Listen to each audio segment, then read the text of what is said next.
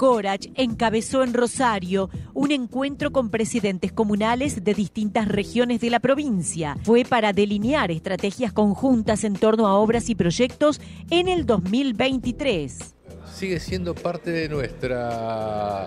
idiosincrasia en términos de gestión y de gobierno, estar cerca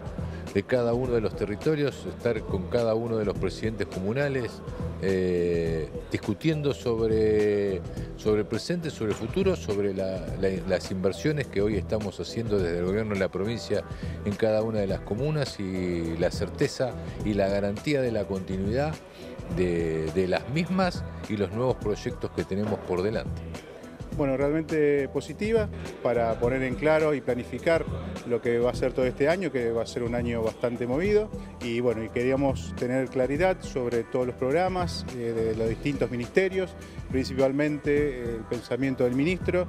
con respecto a cómo íbamos a trabajar mancomunadamente todas las comunas eh, de cara a este año. Así que la verdad que la reunión eh, nos vamos contentos porque fue bastante positiva, ya de acá salimos organizados para futuras reuniones y bueno, y organizando tácticamente lo que va a ser eh, la planificación con obras en, cada una de nuestras comunas. Eh, creo que en el tema de gestión no hay duda, nunca tuvimos tantas obras eh, en la localidad pequeña como la nuestra, como con este gobierno. Y bueno, nosotros estamos en el día a día.